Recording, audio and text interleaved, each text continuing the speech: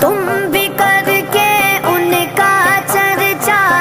अपने दिल चमका